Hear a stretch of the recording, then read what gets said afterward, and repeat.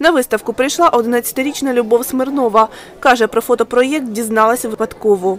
Мені виставка дуже подобається. Я тут вперше, але буду приходити ще, тому що е, дуже різноманітні фотографії різних народів.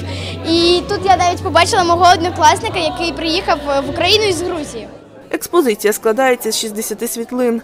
На них зображені представники національних меншин Миколаєва. За словами організаторки заходу Лоліти Каймаразової, наступного року планують розширити географію та побувати у селах області. Це була ініціатива фотохудожника Миколаївського Ольги Волкової зробити таку серію фотокарток про життя, про історію, культуру і традиції етнічних громад, етнічних діаспор краю.